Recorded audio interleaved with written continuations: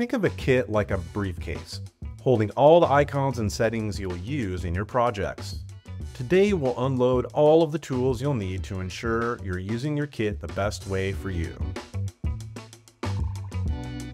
A page view is counted whenever your kit is loaded on a page. Page views are counted per month and are renewed on the first of every month. Here's some common questions when it comes to page views. How many page views do I have? Well, every Font Awesome subscription comes with a number of kit page views which are counted across all kits. You can check how many page views you have by doing one of two things, either checking your account or your individual kit. Here's the first method. Starting from the Font Awesome homepage, click on Your Account. Scroll down to the Kits section. From here, can view how many kits you've used and your Font Awesome plan, which shows you how many page views come with that plan per month. Another way to check your page views is by going to one of your specific kits.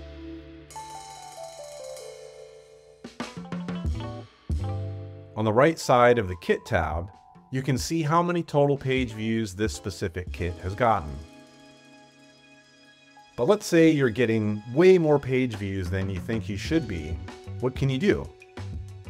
You can control where and how you use Font Awesome kits by using domains.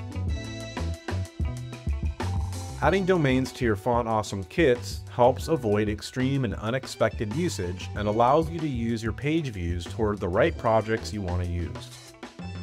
When creating a kit, you can add a domain by clicking the Hosted by Us tab in the Build Your Kit module. Scroll down and simply type in the domain or domains of your choice.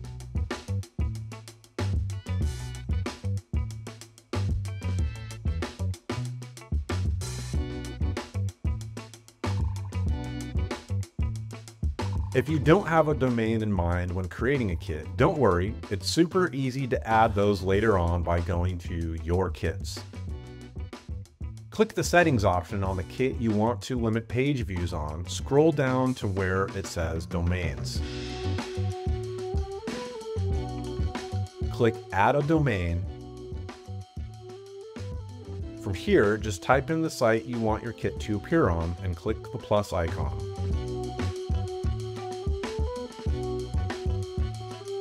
If you decide you don't want your icons to appear on just that site, you can easily remove that by hovering over your chosen site and clicking the delete icon. Want complete control over how you serve your Font Awesome kit? Downloading your kit is super easy if you're looking to use icons in your desktop apps or self-hosted projects. To do so, open your kit click the Download tab and scroll down. From here, you can download the desktop files and use them in any font manager of your choice. You can see included in the kit download are several SVG and OTF files. Click Download for Desktop and you're ready to use your Font Awesome kit in your project.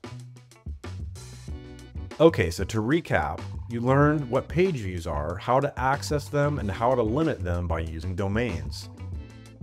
You also learned how easy it is to download your Font Awesome kit to use on desktop and self-hosted projects.